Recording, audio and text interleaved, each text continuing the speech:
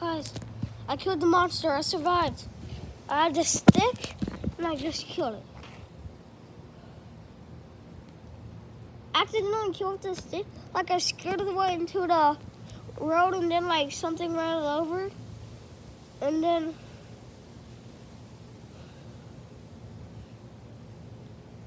it rolled over here.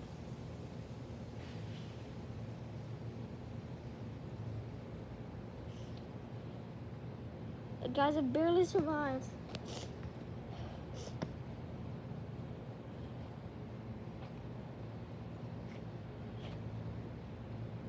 Comment down below if you think it's still alive.